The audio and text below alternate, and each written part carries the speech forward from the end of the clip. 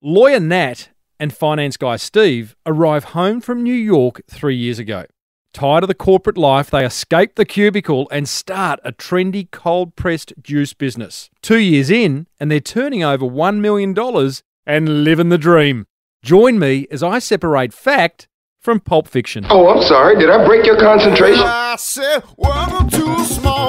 Business marketing show where successful small business owners share their souls to take your marketing straight to the lead. Now, here's your host, Mr. Timbo Reid. And welcome back to another episode of Australia's number one marketing show. I'm your host, Timbo Reid, but you, so much more importantly, you're a motivated business owner and you are ready to crank out some great marketing to build that beautiful business of yours into the empire it deserves to be.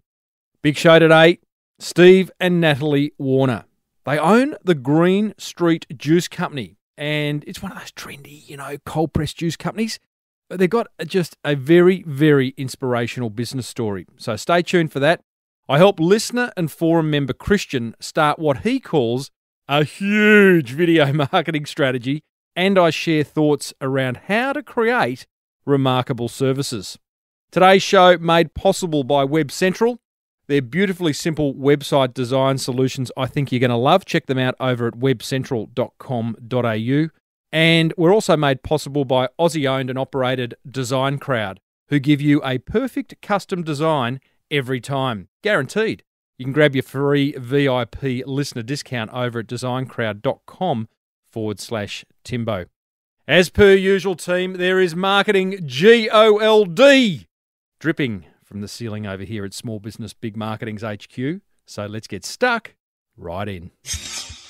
So, coming up, we catch up with a couple of high flying cubicle escapees. You know, I love a cubicle escapee who are now living the dream.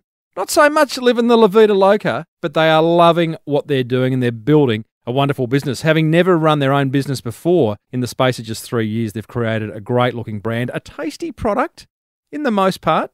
The green juice is a bit hard work, more on that later. And they absolutely love what they do. But first, time for a quick check in. Big news.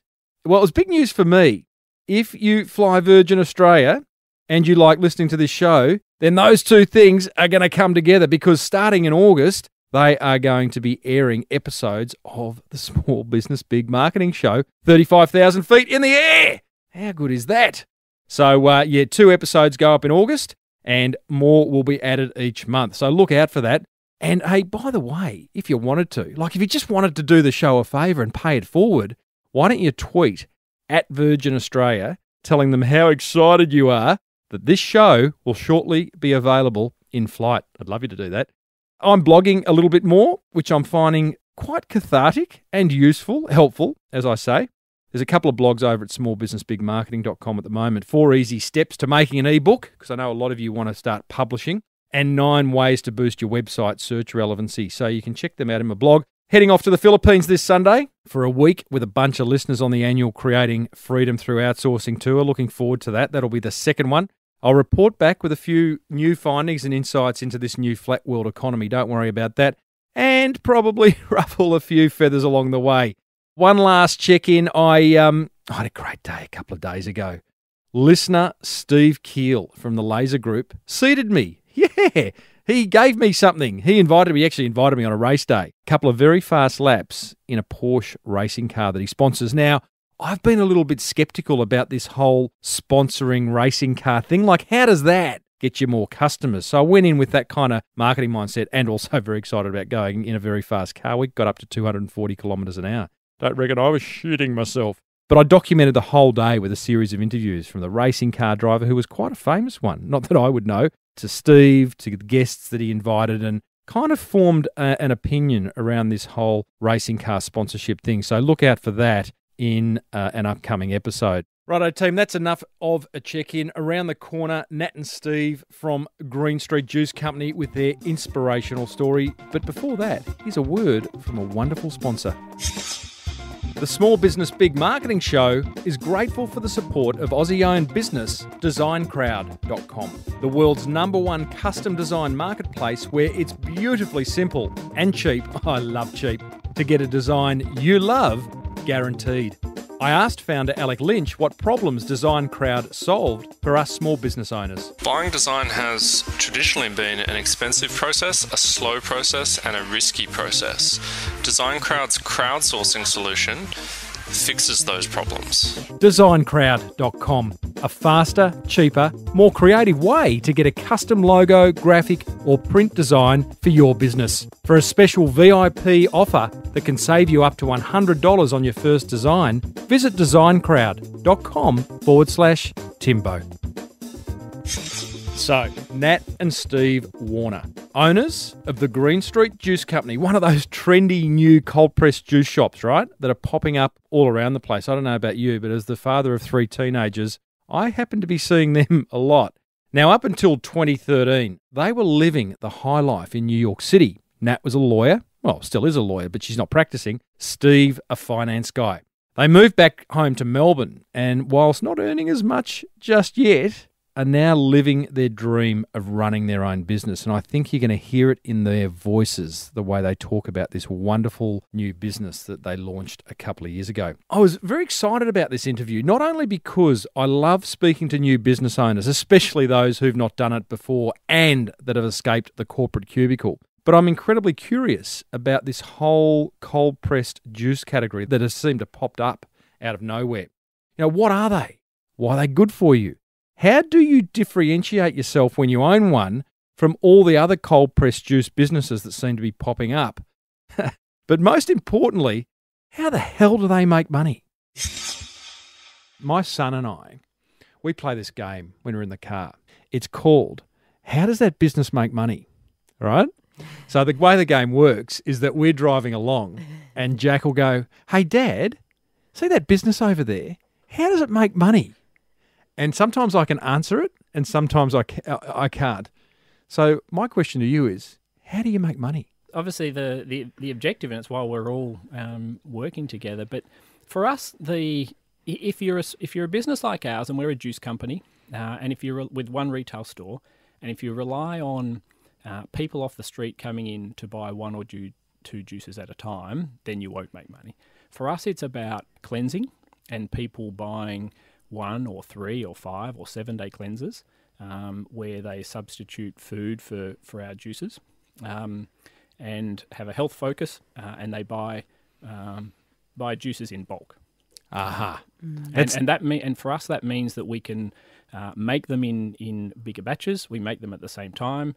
We have a cust- one customer who, who might buy 24 or, or 32 or you know even 56 juices. Oh, nice. Yeah. Ka-ching. And, and that's and, and obviously the pricing structure reflects you know people buying more, um, but essentially for us that's where we're focused. It's the cleanse market, people wanting to detox their their internals and, and feel good on the inside. Now I get it. See, I couldn't have said that to Jack when I was in the car because I went into your beautiful store this morning, had a look around, and I'm seeing some beautiful product on the shelf, but not a lot of it. But now that you talk about that, I love that business model. Like it's almost like a it's like a phone company's plan, yeah, or a gym membership. Well, we built that store and we put a lot of effort in and invested in that store. I can it's tell. our flagship store. Uh, and it's there to personalise our brand so Mm. that customers can come in, they can talk to someone who knows what they're talking about, who can help them out. They can find out all they need to find out about a cleanse, and they have a good experience. They feel good in the store, they're well looked after. And so it's a showcase. We're not a retail chain with 20 stores or 50 stores, and that's not our business model. Not But- yet. but not yet. But we do we do want that store to be able to personalise the brand, so Beautiful. people get a, a feel for our for our business. I want to break down your marketing later because there's a lot of aspects to it, including you know the store and the customer experience. So let's come back to that. But Nat, what is a cold pressed juice? Please help me here. Hey, um, 49 year old bloke, hey, not up with the times. Well, this is the other thing that leads into how we make money and what's so beautiful about our business. We specialize in what we do. So, a cold pressed juice is actually a particular technique that you use to extract the maximum nutrients and benefits from the produce. So, there's two main ways in which to make the juice. One is your typical, what they call a centrifugal s- um, juicer that looks a bit like a blender and whizzes things around. Got one. Yep, a lot of um, you know showcases in a lot of people's homes. Yep. What we do, and um, it's the best technology that you can get in juicing today, is we put the produce through a hydraulic press. So there's no heat introduced into that process, and what Because heat kills nutrition. absolutely Mm-hmm. that's right. So you're left with the maximum amount of nutrients that are available. Okay. Yeah. And that's it. That's cold pressed juice. That's cold press 101. juicing. Exactly. It's a it's a technique of juicing that's the best that's available to make sure that when you're consuming the product, you're getting the best out of the produce. And love it. Uh, just add that we take that one step further by making sure that all of our ingredients are 100% organic. Mm-hmm. And particularly when you're cleansing, that's the most important aspect because you want to introduce a very clean product in Yeah, right. to give the body a break from the overload of pesticides and things Now, like that. Have you had a cleanse recently? Because you look, you look very healthy. Okay. Actually, Steve, you, you are too. Yeah, I did. I We- did our 14 day man, healthy man. Whoa. 14 days of juice. Mm. It's awesome. So yeah, and I'm I'm off the back of a seven day juice cleanse myself. So wonderful thing about that is it just unlocks a whole lot of energy. You Yeah, start to glow from the inside out. Yeah. What do you say to people? Like, actually, let me cut to the chase here because so much I want to cover with you guys. I mean, leaving New York, leaving High Payne, all that stuff. I'll Yeah. come to it. But you're talking about the juice. We may as well stay there. One of my listeners, I put out to the fact that I am talking to you guys and these fancy cold pressed juice owners, this fancy cold pressed juice business, because it's pretty new to Australia. One of the listeners, he's a bit of a naysayer. Don't know him, but how do you respond to this? He says, It seems to me juice will in the future be considered the new tobacco. Oh, hello. Ooh, How are you going to address? Yeah, it is. How are you going to address the proven health issues associated with high fructose consumption of juices? Is there more sugar? As there is more sugar in a glass of juice than a glass of Coke, which I um, I don't know is that true or not. But Mm. what do you say to people like that? Because you, you would have heard that before, yeah. Absolutely, and it's becoming more and more common. That kind of like negativity. Absolutely, and Yeah. the sugar debate. Yeah, yeah, um, yeah. The sugar issue. Have you seen that sugar film? yes, it's It's wonderful. It's a wonderful Love film. it. How good's that? I've got to get him in. Yeah, next, you should. Yeah, Yeah, yeah. Haven't seems had a mountain dew since. I, you know what? I haven't had an iced tea. Yeah. Uh, I was sucked into the fact that well, iced teas must be healthy. It's got more sugar than Coke.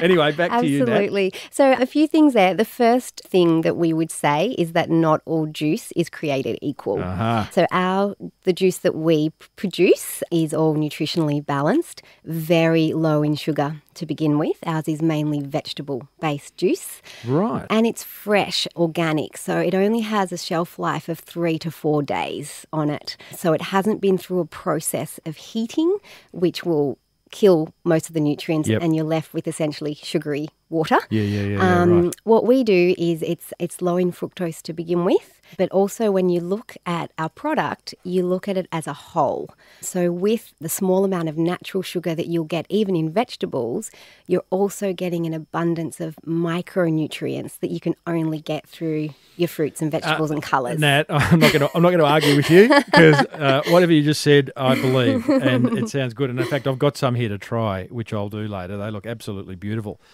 Let's go back to the start, or at least the start of Greene Street Juice Company, right? Yeah. Because from what I understand, pre 2013, you're living the high life in New York, right? Bit of Soho action, you know. Steve's a he's an investment. You're the uh, you're the legal eagle, mm-hmm. and um, at some point you've had an aha moment. Clearly, tell us about that. This is my favourite bit to tell about our journey because really Greene Street feels incredibly fate driven and uh-huh. layered with levels of synchronicity for us. And it's our personal journey. Mm. So the name Greene Street comes from living in Greene Street in New York, in Soho. Mm-hmm. And New York was Pretty in- funky, Steve, was it? It's, a, it's an awesome spot. Great Awesome. spot. Very Yeah. arty district. Did you wear Um, the beret and kind of the Yeah, scarf? in winter I had yeah all I'd be sorts wearing of stuff. summer. Yeah, yeah. But Greene Street was incredibly life changing for us, and we could never have imagined that. So we went across because of an opportunity, a job opportunity that was presented to Steve as a conman opportunity. But while As a con man. uh, secondment, Oh, secondment, I was going to say. I must articulate myself. I'm being interviewed here. So Steve got the big break. Mm, that's right, the big corporate break in the city of dreams. Yep. But for us, it essentially meant that New York really opened up our eyes to a whole new way of living. And in New York, they work hard, but they play hard. Mm-hmm. And they are really at the forefront of a number of industries, and, and health is one of them.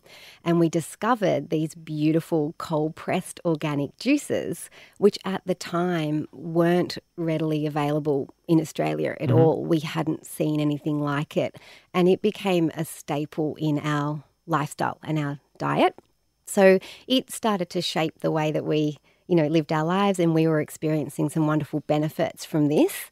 And for me personally, New York was a journey where I turned from lawyer to yoga teacher trainer. Wow. wow. I've, I've just had a previous guest a few months ago. This guy wasn't a lawyer, but he, he made a lot of dough from a buffalo chicken wing franchise, right, in the States. and he was also a yogi. right? Wow. And he's gone and started a business, and that's why I got him on the show. Mm-hmm. He, started, he started a business called The Cuddlist. And now he sells cuddles. I love that. Do you? Yes.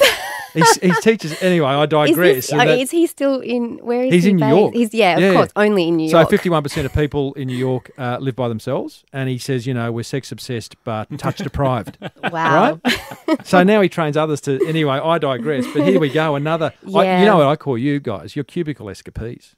You've escaped. you've escaped the cubicle, right? Right.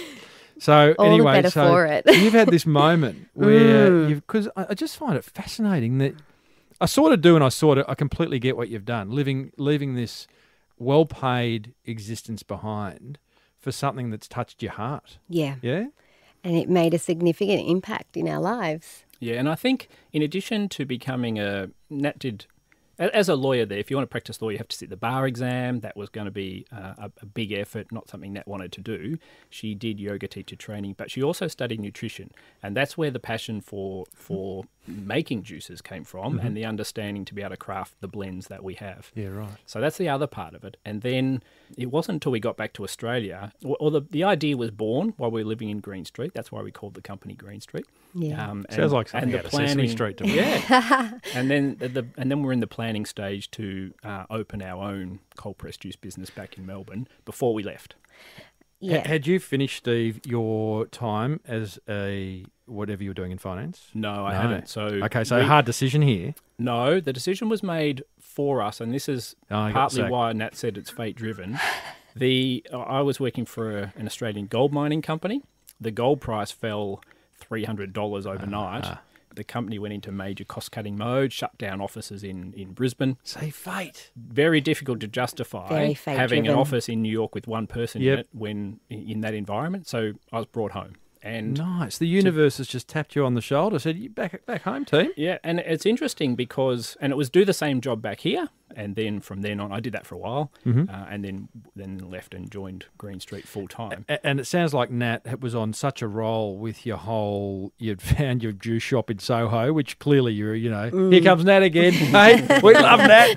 Cleansing every other day. Yeah, right. you, you've started your yogi journey. You'd Mm. found a new kind of thing, and that was your kind of like, yeah, we're going to go back to Australia, but we're not going back to this gold place. We're going to go and start a juice company, and that's what you came back to do, yeah. Well, it was interesting. It wasn't until we got back to Melbourne that we realised what we were easily accessing in New York ah. wasn't readily available here. So, and through the studies that I had done in the States, mm-hmm. there were some key components for product integrity. So, glass packaging, 100% organic ingredients, and something that is sort of locally made. And at the time, we couldn't find that and thought, well, we were able to get it over there. It should be readily This is, available this is here. 2013, yeah? 2012, 2013. Gosh. End of know, not long ago. 2013. Mm. End of 2013. And that stuff wasn't existing, Um, didn't exist. that yeah, that's right.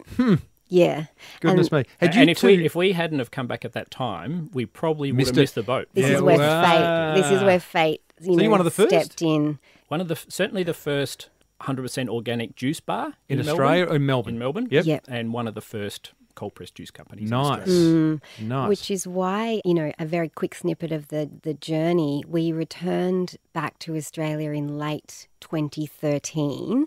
We launched the company in March 2014 hmm. and opened our flagship store in September 2014. It was a very quick ride. Well, let's talk about that ride Um, because I'm going to guess neither of you had ever had your own business previously, right? You'd you'd been the you know in, in the cubicle, living the high life, you know, corporate Spencer accounts. Say, yeah, yeah, no, no, we'll go to that restaurant. It's much, it's got much better wine list.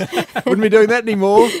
Uh, so you haven't got any business, uh, small business experience. I love this. I just Mm. so love this. So how does one open uh, a cold pressed juice company?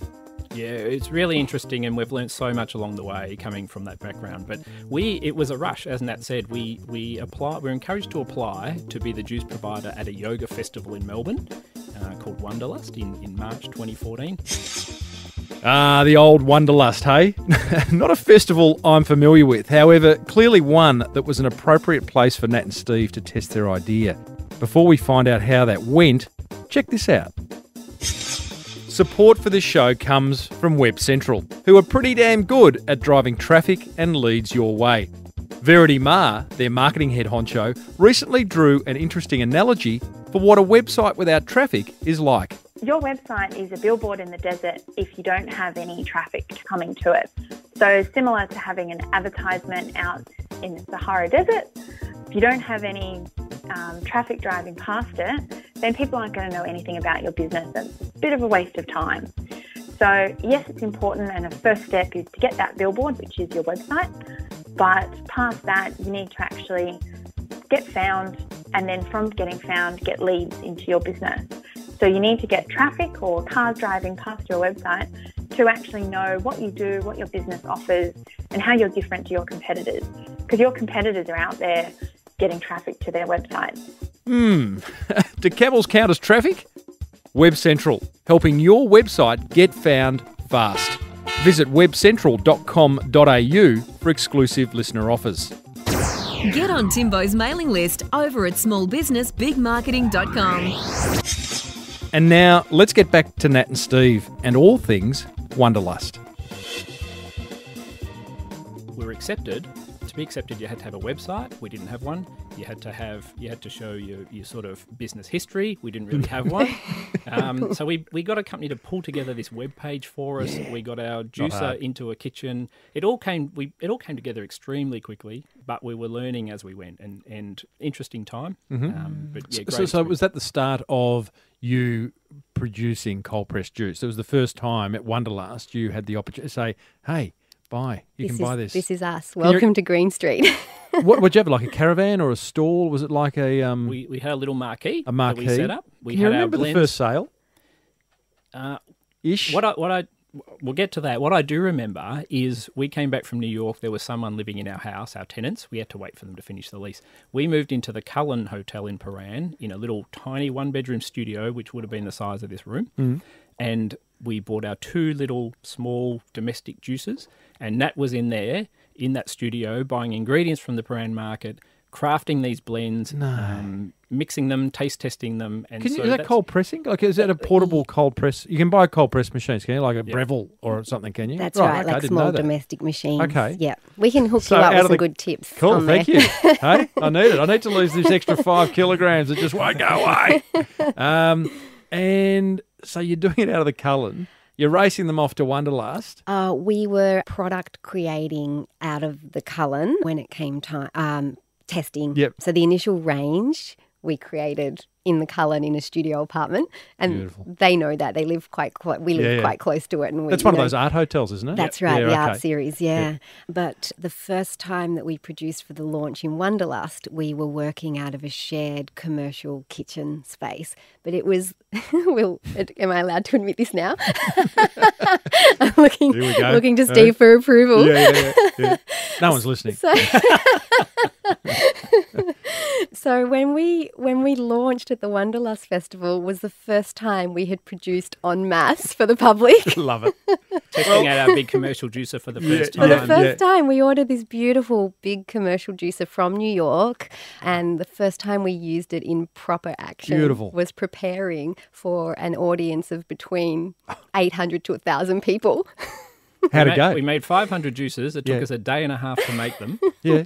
and so we would we'd do that in about half a day now. Mm-hmm. Um, but yeah, it was it was great. was the, the wonderful. response was enough at that festival. We sold almost all of them. We gave away probably the last fifty, but it was proof of concept for us. Yep. Uh, we had am- amazing feedback saying, when are you opening a store? Where are you going to open? And we said, and we asked a lot of those people, where do you think we should open our first store? A lot of them said Prahran. Yeah, well, funky Prahran. Well, for overseas listeners, for listen, not in, in Melbourne, Prahran is a sort of like, I guess, almost like the Soho of um of, of Melbourne. That's Proof of concept's an interesting thing because many of us, and I've been guilty of this, don't listen to that. You know, you can do something, and someone will go, "That's unreal," and you just go, "Well, thanks," and then you go and do something else, right? But you listen to that, yeah. You kind of gone, okay. We don't need to be nothing more. We need to know. Let's do it. Let's go and lease some space. Yeah. Shop fit out, branding. Well, we had planned to open in Prahran, but coincidentally, because it was close by, we we we thought it was a lot of most number of yoga studios in Melbourne per Yeah. square meter. Yeah, um, big customer Yogi's base. big on the cold press. They love it. it's our part of our It- life. It's the look, isn't it? It's the it's the yoga mat over the shoulder. I was talking to my daughter last night, saying I'm going to speak to you guys. Steph's 16, and she goes, "Oh yeah, yeah," like, and it's the classic Instagram cold press shot. Your, your bare feet with a cold juice bottle. Hey, I hate to admit it, but it's true. have you true. done it? Hey, have you done it, Nat? We've all done it. I- well, I haven't. I've got shocking toes, but uh, Absolutely. right, Mm, okay. Yeah. So September. I'm, I'm not trying to do a timeline here, but six months later, after Wanderlust, you open your flagship store. Still like your only mm. store, correct? Yep. Green That's Street right. Juice opens up mm-hmm. in Prahran, opposite the Prahran Market. Fantastic location. Steve, when I spoke to you the other day, you said there would be a hundred things that you would do differently if you were opening today. Really? Uh, uh not with the store specifically. Did you we, get it we that love wrong? The store. No, they're, they're things that the general public probably wouldn't notice, but but to us, yeah, there, there's you learn a lot. And we started off with a, a vision and went down the path, and sort of we know what we wanted to do, but how to get there, we sort of you sort of meander through, and you change your mind on different things. A lot of the things that we would do differently are around timing, with, Right. with the benefit of hindsight. Yep. we would have a shopping cart to our website earlier than we did. Mm. We would Because people were wanting to buy online? Yeah, because for us it's about Nat mentioned the short shelf life, and that's the thing that our customers love about our juice is the fact that it's so fresh. But it's logistically very challenging from a business operation viewpoint, having a product that only lasts that long, Yeah. um, and trying to get it out there to, to the market. So Yep. we can cater very well for Prahran around our store, and online we can take orders and distribute, but it's a challenge. And uh, having that online presence earlier probably would have been beneficial for us. Another one with the store, probably building more flexibility into the store layout because Oh. He's taking his I've first just, had sip. a, I just had a go. I was a bit parched. he's had to go at the Empire State. Sorry, I had to, sorry to interrupt you as you're on a roll, but that, is it the Empire State? Mm. So a little bit of carrot, bit of orange in there. No orange. No orange, no, it's just an orange colour. wow. Carrot, green apple, and um, How do I look after that? Yeah, you look you're great. glowing. Yeah, I thought, I thought so. It's immunity, Radiating with immunity health. boosting that one. Immun- yeah, I need that Mm, going need into that winter. for a today. Yep, I do. You were, say, you were saying, Steve? just the store layout Mm-hmm. and flexibility. I think we had a we had a vision about what we wanted to create in the store and how we saw it working. In hindsight, we probably would have incorporated a, a smoothie bar in there or space for a smoothie bar as well, and just things that you learn along the way. And Ah. Can you, and you can still do that? We can. It's Quite some space in that store. Requires which a bit is- of retrofitting, but we, we could. do Yeah, it. yeah. Space is groovy though. You know, you don't want to fill it up. Yeah, It's like the client that wants the bigger logo. Make the logo bigger. No, no, it doesn't need to be bigger. It still works like that. It's about the experience and the feel. That Yeah. store is we won an international design award for Get that store. Yeah. So we were Did you get a awarded. Oh no, it's happy, happy. Kind of expected it. no, happy, very happy. But it was awarded 2015 Retail Store of the Year at an award ceremony in London. Really? Yeah, the Retail Uh, Week your Design shop fitter Awards. kind of entered that, or how did that come about? Yeah. Yeah, it's an we were- award. It's an award that the architects are very proud of, and so our architect did enter that. But but enormous competition. It's a global thing. Um, Up against the Hadid family for um someone's. They're on that comedy show, aren't they? The Habib. uh, Gigi. right. Gigi Tell me, Hadid. 100 things you do wrong. Just going back to that. What about, okay, so 100 things you get, you, do differently. Not wrong, you do differently. Was there a moment, it sounds just like, talk about wanderlust. It's like a wanderlust journey from, you know, a dream journey. Not all small business journeys are like that. Did the, ever get the wobbles at some point? Oh, I think. Um, Did you look at each other and go, oh, uh, darling, uh, I'm just going back to uh, New York to uh, that gold company. It was quite good. it, it's interesting actually because we we think back and, and laugh a lot about our corporate life, um, and you th- and you think back and, and look at what you miss and the financial risk that you take and the financial security that you don't have in starting a small business is obviously something that plays on your mind a bit. But never have we doubted whether we did the right thing. We look at the financials and think, you know, what do we need to, how sustainable is this? And as you're growing, there's times when you sort of think, you know, we're not paying ourselves. Are we really going to be able to make the living that we want to and create the lifestyle that we want to create? And that was really the drive, mm. one of the drivers. So you sort of question that. Mm-hmm. But the biggest challenge for us, honestly, has been relationship wise working together as husband and wife in a small business because it's 24 7. Yep. There is always something to do. Small businesses are invariably Mm. under resourced. And so you find yourself just doing what needs to be done. And Yep. it, it can take over your life if you don't create boundaries for your work and non work time. That's That was the biggest So challenge. how do you that do that? That's adjustment. hard. How do you create, how do you establish those boundaries? I'm not sure we've been able to do Right, it yet. haven't to be done Still- it still Yeah, learning. Early days. Mm. Okay. Yeah, I think the thing that Who gets the shits more, Nat or Steve? eh? Uh, Nat at Steve, I think. that's probably pretty Yeah. fair. It's always the husband's fault, isn't it? Oh, hey, welcome to my world. Yeah. I think the thing with the journey so far, and we have had a truly blessed journey Sounds so like far and have been grateful every step of the way. There's been a couple of elements that have collided for us, and I think it's universal for all businesses, or if you can get that combination right, it helps propel you and keep going through the challenges. And that's a real passion and a belief in what you're doing. If you have that greater vision and you really feel that you're making a difference with what you're bringing to the market on those days where you're pulling a 22 hour day and you may have been juicing and then you're you know delivering the juice yourself like at the early days we were everything we were the juicers we were the customer service we were the delivery drivers um, tapping into the passion and what you believe in gets you through Hallelujah. I had uh, Michael Klim, Olympian swimmer Michael Klim, on the show about three years ago. And in fact, more. He started Milk, which is a clever, it's Klim spelled backwards, a, a skincare brand. He too, as he, you know, he, he was in the delivery truck delivering to David Jones and Myers and little pharmacies. And he too talked about the idea that he just believed so much in this skincare product, which wasn't available. There wasn't nothing else for men at the time that it kept him going. And Yeah. I hear this. It's it's your why. It's why do you do what you do? And my listeners hear me bang on about it all the time. But if you don't know what it is, then you kind of quickly can lose faith. Uh, It's so important because it is an incredible challenge, especially in the early days. And if you don't have a why, you'll probably give up. I reckon there that is just great advice right there. I'm loving this juice, by the way. Absolutely loving it. Hey, um, can you wrap some? I want to talk marketing in a minute, but just wrap some numbers around where you're at. Share as much as you want. As I said, no one listening. I'm just interest, personally interested.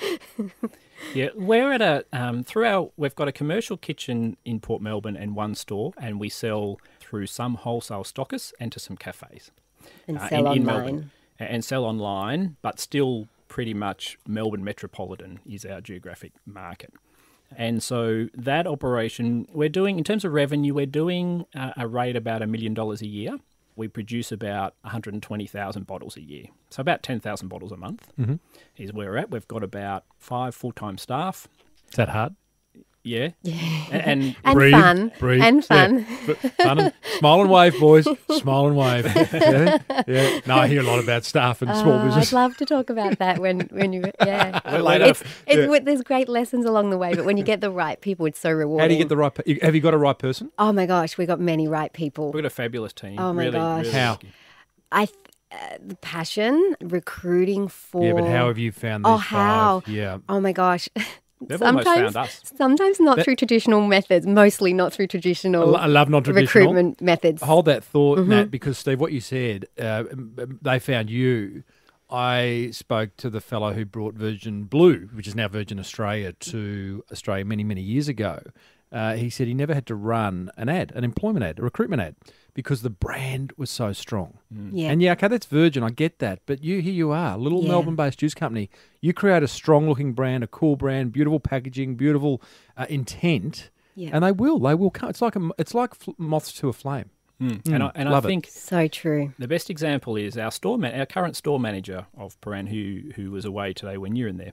But sh- she and Nat met each other standing in a queue buying tickets for some event and got talking and Right. just hit it off. And Is this is this the non-traditional was a- ways, Nat? Yes, that's Right. right. And it was a beautiful, like-minded event um, in Melbourne. And I'd met her one other time where I had presented to a group of yoga teacher trainees about, you know, my journey and Mm-hmm. the way in we, the way in which we infuse yoga principles into our, our making. So I'd met her briefly then, and then I ran into her again at this, you know, beautiful, like-minded event. We got talking, and she's now our store manager, Beautiful. and she's perfect. And we have a few other examples like that. And totally agree that we haven't had to do a traditional marketing campaign. Well, you're doing some interesting marketing. Let's talk about that in a minute. Those numbers you wrapped around, Steve. You happy with them? yeah, um, we're very happy You with should where be. What we're we? Second full year, Uh, second full year about to finish, yeah. And it's um, million bucks a year. Yeah. And Good good margin. No the margin. that's a challenge. Right, it, it probably costs half a million bucks to make them. Uh, Gee, see, that's interesting because as a dad, father of three teenagers, the price of cold pressed juice is not my friend, Mm. right? Mm-hmm. I'm just going to the guys. Get back to the local deli and just get a four dollar squeezed orange juice. Yeah. We'll change that after we've talked to you. and that's why our So products are a bit expensive to boutiquey, and that's why they'll never be in supermarket chains. Well, Um, don't say never. That's Oh, right. Never say never, Correct. Steve. Yeah. yeah. unlikely. Right. But Um, but yeah, they are expensive to make because cold pressed is a slow process. It's manually intensive. Now I get it. So you so you need scale. Yeah. Mm. Okay. Um, I just thought you were ripping us off. oh, trust me. okay. Um, I think the other thing to say, probably about numbers and what we're really happy about, is the growth that we've seen. I'm not sure if this is a correct term, like year on year. Come on, Nat, you're a lawyer. Okay? Um, I'm a lawyer. expecting Big things. and I'm looking at Steve because numbers is his strength. Right. Really, working one of the one of the great things about working together is we have very complementary strengths and Yeah, weaknesses. gotcha. um, But the growth that we have experienced when you look at this time last year to what we're doing this year Mm-hmm. is incredibly positive. So it's- Okay. Are it's about to about eighty percent revenue growth year on year. But the, the Hmm. most pleasing thing for us is the thing we monitor is repeat cleansers. So people who have done a, a detox cleanse with Junkies. us, and I mean that in the most loving way, by the way. Not I've you never heard that before Juice in junkies. the context of juice. we'll call them junkies, see if they still remain customers. yeah, yeah. Um, because that that is proof that our products are where we want them to be, and people have we get people who say I've tried different juice cleansers and different juices, and Mm-hmm. um, and when they come back and do repeat cleansers with us, it's it's confirmation that we're on the right track with our products. and it- for- and, it's really pleasing. for, for any business that has people coming back, I mean, what what more do you want? I mean, lovely to hear people say you're doing a great job, love your juice, but just keep coming back. You know, Yeah. what's like my listeners. You know, as long as they keep coming back, and I don't know whether they do or not, but I can only assume they do. What if this cold pressed juice thing is a trend? That might die out. You mean? Yeah.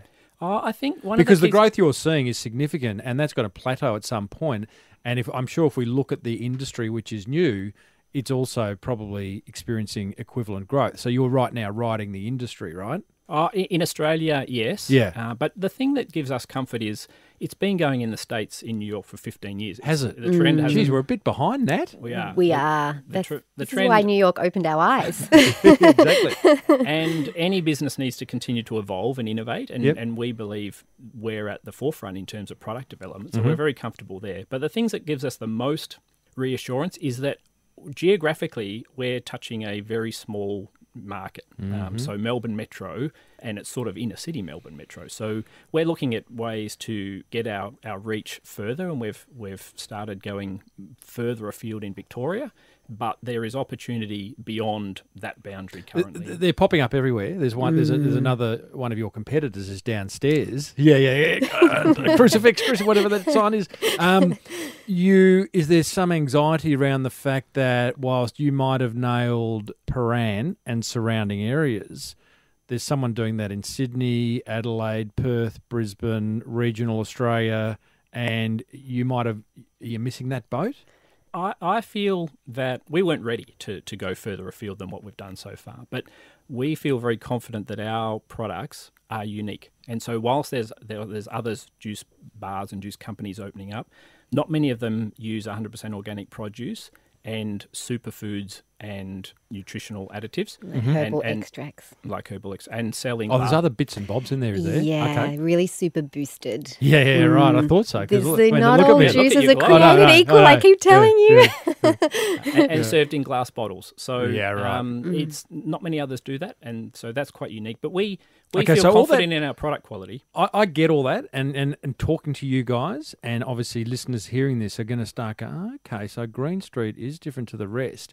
To the great unwashed, right, everyone else out there, they're driving past these shops, and up until half an hour ago, I was one of them. I'm finding it hard to see the difference. You know, so how do you differentiate yourselves? Besides all that stuff, you could go around. I always say, um, you know, marketing's marketing's what you do when you can't go and see someone. So in an ideal world, you'd go out and meet everyone in the street and go, "Let me tell you our story." You can't do that. So how do you stick your head above the trench? It, mm. it's we've benefited primarily from word of mouth. We do, and I know when you, you want to talk about marketing, and, mm. and Instagram's a part of that for us. But we, a- a lot of our customers have been referred by someone, and so who has done a cleanse and recommended us or, or talked about the benefits. And people do talk, and we've been lucky enough to have some influential people wander into our shop, either recommended or, or just off the cuff, and, Yeah, right. and buy some products and talk about them. And Oh, nice. and, and Uh, that's been- example? Who? It's been so, uh, so Megan Gale. Oh, hello. Regular about us. customer. Yeah. There's a there's a lot of- Supermodel uh, listeners. yeah, Elise Knowles, Dan McPherson, Wow, Ashley now, Hart. now, I'm now I'm showing my age. Who, who you talking? Actors, sports actors, people. mo- actors, models, Yeah, right. um, sports people. So Olivia they- Valance from Neighbours. So they they've told we've had people come into our store and say, "I've never heard of your juices. I know nothing about them, but if it's good enough for Megan Gale, I want to give it a go." And even um, even What she tweeted or Instagrammed? She or did a post. Instagram. a mm, post. yeah. Instagram post. Few And- Instagram posts. And then more recently, even uh, Triple M's own Mick Molloy and Luke Darcy did a, a couple of ugly cleanse. fellas. Yeah, hey, we had people ring in and say, "I'm I'm in the Mick Molloy category. I feel I'm a bit overweight. I'd like to lose a few kilos. Uh, I don't know what he did, but but I want to buy what he did." And Wow. So just we've been Great. lucky in that regard. great way to point uh, point it. Let's talk marketing. Uh, what a great story so far. I'm loving this. We've gone well over time, but I don't mind about that at all. I have Okay, to do it in two volumes. yeah, that's right. Exactly right. Obvious. Uh, I was going to say where the name come from, but you've told me that. And talk about product. It- absolutely beautiful, beautiful packaging. And you know, you've gone to a lot of trouble. I noticed going into your store, there's just all these little one percenters.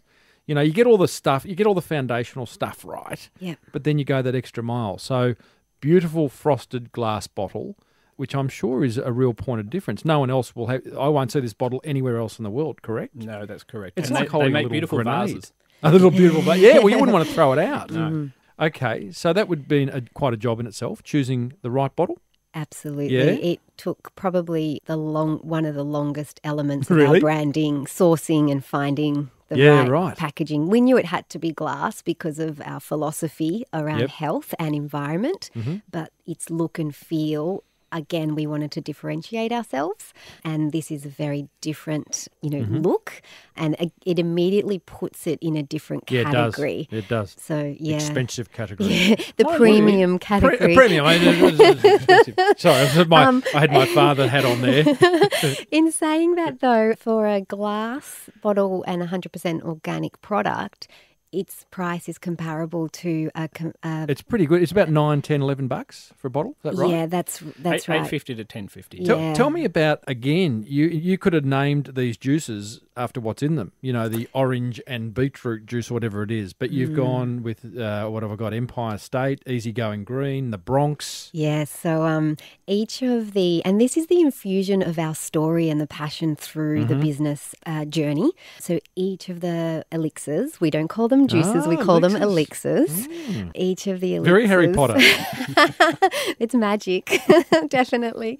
They have references to places in time in New York that are quite special to us. So, our signature green juice is called the Greene Street Classic. We have another green juice in the range called 95 Greene. We lived on 95 Greene Street. bless. That was our address. Um, That was our address. So, Why wouldn't you um, put the story on each of the bottles? There's not enough space. Come on, that would be great. I'd love to hear that. Yeah, we probably You've have got all this work with- white space around the logo. no, they need We're to. very minimal, you know. we do like the minimal, clean Story. look. You got such great stories. We'll put you that know. in our book, Tim. Yeah, yeah, there you go. Well, after you've read mine, you can figure out how to do that. Yes, I'm very Um, excited about that. The boomerang effect. Thank you very much. Have you read it yet, Nat? I gave it to you about half an hour ago. I'm very. Ex- I, I have read of it, and I was very keen to read it. And Beautiful. Here it is. I'm very excited. Talk to me about branding because I reckon a lot of small business owners get branding wrong. They don't attach enough importance to a beautiful looking brand. They think it's a bit superficial and we'll just get a logo and get on with it. Mm, Yeah, so that's exactly right. And and because in a startup you're financially restricted, and so where do we spend our money? And it's not something that a lot of businesses have the foresight to to put effort into that area, and so it is neglected. I agree 100. percent So, how do you? What did you do? You go and find an expensive design agency? Did you use um, Design Crowd, a sponsor of this show? What did you? Uh, We didn't use Design Crowd. Oh, Uh, we didn't because we didn't know about them, but we did go and find one, and we same with the architect on the store. We went and said, "This is what."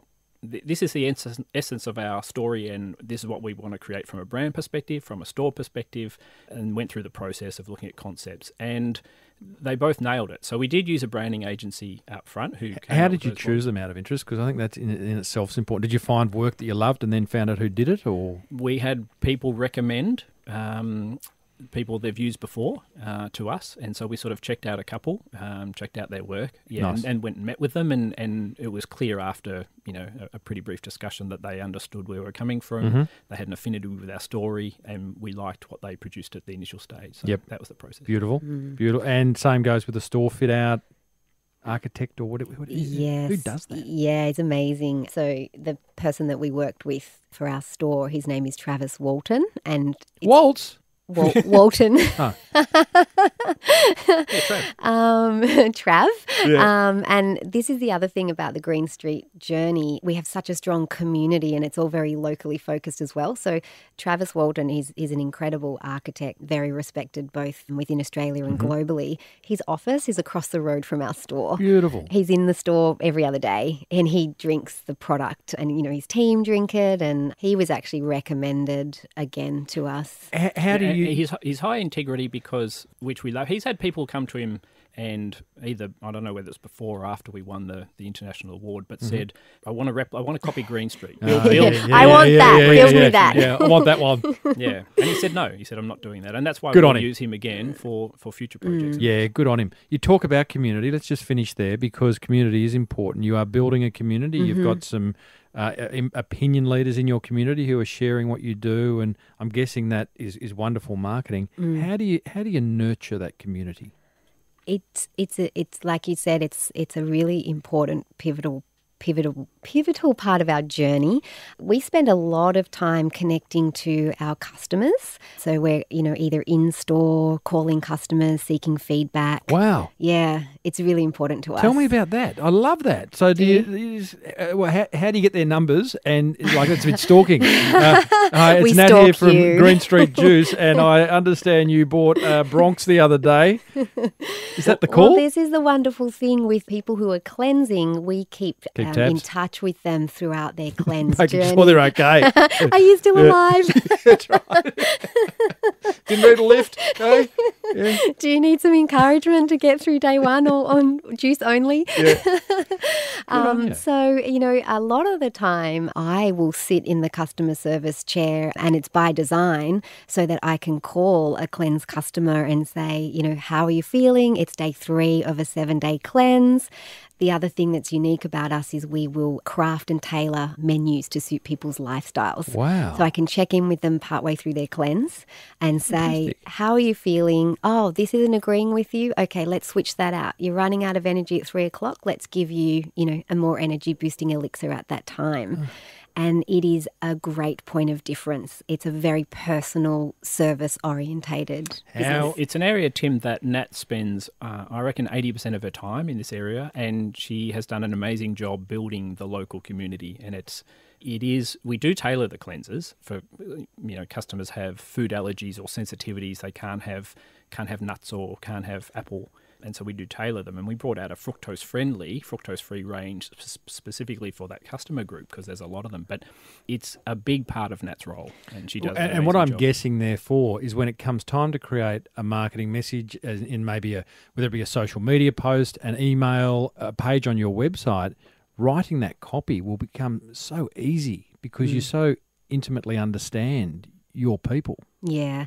And I think it comes back to, again, being genuine and passionate about what you do because I don't see it as work and, um, you know, integrating myself with the yoga community in Melbourne, with other makers of beautiful organic products, with people who are enthusiastic about their health and wellness. That's become my circle of friends. and Unreal. That's our community. I don't It's think we're going to see you in a, in a law court anytime soon, Nat. Steve, I don't think you'll be wandering up and down Collins Street in a pinstripe suit anytime soon. No, I enjoy going to work in jeans. yeah, yeah, yeah. Hey, I love the story. Thank you so much Mm. for sharing it. If people want to glow like I am, I don't want to talk too much about my newfound look, but um, if they do uh, and they're in the Prahran area, go to mm. Malvern Road in Prahran, opposite Prahran Market, or more likely, they're somewhere else in the world. What can they do? Go to Jump on the website, so greenstreetjuice.com. There's a lot of information there. But if they wanted to call the store, or there's a number on the website they can Love call to talk to a, a customer service specialist about their cleanse needs, very happy to help. Nat and Steve. Thanks for helping save the world. Thank Thanks you very so much, much. Tim. Well, there you go, team. That was Nat and Steve Warner of Greene Street Juice Company. I love that chat. You? Hope you did. I've got my top three attention grabbers thanks to Web Central's simple website solutions and Design Crowd's fully guaranteed design solutions. Love a good solution. Attention grabber number one put effort into your product design. What I didn't say during that chat was that Nat and Steve had kindly given me a one day detox box containing eight bottles of juice. The box design and bottles looked absolutely beautiful, so much so that I just don't want to throw them away. I've actually, just between you and I, I I've washed the bottles, I've put them back in the box, and I don't know what to do with them. I can't bring myself to putting them in the bin. So it kind of, I know, I know, weird. What if you created marketing that people didn't want to throw away, right? What if you created marketing that people wanted to share? Hey, there's a challenge.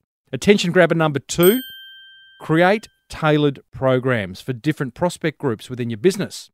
Nat and Steve have got the Healthy Man Pack, the Cleanse Pack, and they've got lots of other packs, and it makes it easy for us to buy from them. And it means Greene Street get to sell multiple bottles of juice and not just one. Hey? I love Steve's answer at the top of that interview about how he makes money. That that's how he does it by selling multiples. Attention grabber number 3, the importance of proof of concept. Now, I'm in two minds about this because as Henry Ford said, if he'd asked people what they really wanted, they'd have said a faster horse. I love that quote. However, the fact that Nat and Steve acted on the overwhelmingly positive response they got from selling at Wanderlust was clearly a smart business decision and good on them for following that up. And now, look what they've got a beautiful, beautiful business that's turning over some good coin. Not making a lot of dough yet, but that's just round the corner. Hey, what grabbed your attention?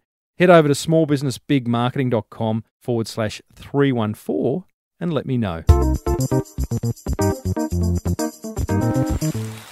So I came across this wonderful quote the other day products or services that are remarkable get talked about.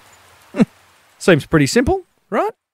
When I hear about the need for products or services to be remarkable, though, I immediately think, yeah, but that requires big budgets, deep pockets, and possibly lots of time. You know, the iPhone is remarkable, but how much did that cost to make? Millions. I don't know, billions.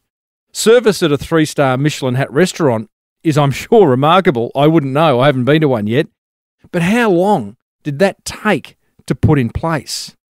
But you know, when I dig a little bit deeper around this quote, it becomes clear that creating a remarkable product or service that gets talked about, it doesn't need to be difficult or expensive. And my wish for all you guys is that you do create something that is remarkable and that does get talked about. What about past guest and electrician Josh Nichols from Platinum Electricians? His simple 21 steps to an amazing customer experience is remarkable. Cost him nothing but some time to put it together. Or what about Nat from Greene Street Juice Company? Her willingness to call customers and check on their well-being. That's remarkable. It'll get talked about, costs nothing. Or Carl Schwantz from Xenox Diamonds, who continually asks, how can he give a client something they didn't think they could ask for?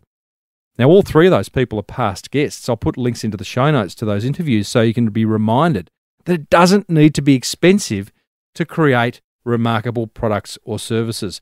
Being remarkable relies more on your mindset than it does on the size of your bank account. So, what are you going to do today, team, to get your product or service talked about? Hi, I'm Rowdy McLean from Play Bigger Game. For years, I've been listening to Tim Reid's podcast, Small Business Big Marketing, and I'm a massive fan. I've been on the show, and uh, recently I got hold of Tim's book, The Boomerang Effect, and it's inspired me to play a bigger game, to kick off my own podcast, the Play a Bigger Game podcast. So, tips, tricks, ideas, and interviews on how people can play a bigger game.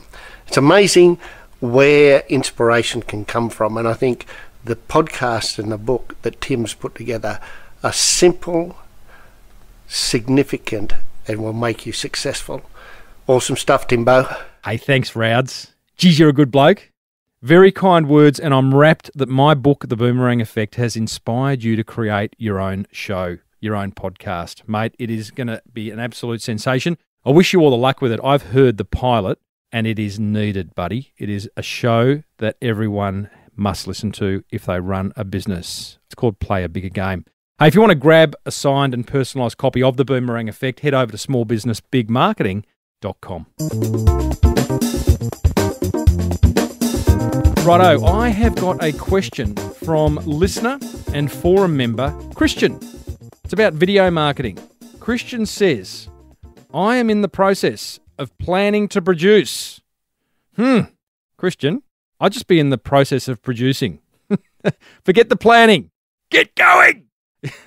Bit harsh, aren't I? I'm in the process of planning to produce a few videos for my website and customers. Well, that's a good idea. That is an excellent idea.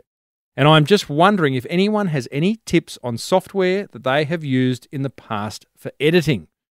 Oh, Christian, why do you want to be on the tools, mate? Long term, I'm planning on creating a huge range of short instructional videos. I teach maths as a tutor. Jeez, maths. That was me snoring. I went immediately to sleep the minute I saw maths. So I would like to have the freedom of editing myself without having to pay someone for every five minute video. I don't mind a steep learning curve if the value is there. Any thoughts are much appreciated. Well, team, I deferred this question to past guest and friend of this show, Darren Finkelstein from St Kilda Boat Sales, who is a prolific video creator. He punches out one a week. He, as a result of these videos, is the beach and bay weather reporter on a radio station in Melbourne, and videos has changed the way Daz does business. Here's what he's got to say for Christian. G'day there, Christian. Darren Finkelstein's my name. I'm the boat guy, and Timbo Reid's asked me to respond back to your question in relation to video editing and uh, what software I'm using. Well, listen, mate, to be really honest with you, I hate video editing, so I'm just sticking with the basic iMovie software. It's pretty straightforward, and uh, uh, in most cases, I try and just do a single take and if I don't like it, I'll just redo it. Uh, nonetheless, I also use a product called BuzzyVid. So head to a website called busivid.com. BuzzyVid is some terrific software that I found along my uh, journey. It tops and tails my videos that I'm creating, and it also puts a watermark on them. So basically, once you've created your video, you can go and make some changes in iTunes, uh, in um, iMovie if you wanted to for video editing. But once you've made your take and you're happy with it, then uh, I upload my uh, video to buzzyvid.com, a cloud based system that puts my branding on the opening uh, scene of the video and the closing scene, of course, with credits and website and all that important stuff, and that watermark that I talked about, and then it uploads it to my YouTube account. And from YouTube, I just bring it in as an embedded file into my website. Anyway, hopefully, I've answered your question for you. It's over and out from the boat guy. Cheers. Thanks, Daz O'Leary. You are a good fellow. I concur with everything you said. Other forum members also provided some great answers to Christian's conundrum, including a suggestion to use Camtasia or ScreenFlow. Simple pieces of software. I think they're 99 bucks each that record what's going on on your screen, what you're saying, turn it into videos. Don't even have to look down the barrel of a camera. Gotta love that. Christian, thanks, mate, for your question. I look forward to you posting your first video inside the Small Business Big Marketing Forum pretty soon for our other members to to lovingly critique, and I mean lovingly. Hey, everyone else, if you've got a marketing conundrum, then include it in a listener review on the Apple iTunes Store. Whew. Well, that'd be a big show, I'd say. I told you at the top. Big show today. Hope you agree. Plenty of marketing gold coming your way in the weeks ahead. Next week, you and I, we get together with this fellow Soren. He has a, uh, a very cool workspace that I've been working out of recently called Work Club. And we chat about the rising interest in these co working spaces, what makes a great working space, and uh, a wonderful, wonderful story. Again, love great stories. Hey, be sure to use Design Crowd to get pretty much anything designed. A typical project receives 60 to 100 plus designs from designers around the world. And you can grab a VIP listener discount over at designcrowd.com forward slash Timbo. And I would suggest going ahead and using Web Central to avoid your website being a billboard in the desert. They've got some great deals over at webcentral.com.au. Until next week, I am Timbo Reid. Thanks for listening to the Small Business Big Marketing Show, soon to be found on Virgin Australia. I love that. Hey, may your marketing be the best marketing. Bye for now.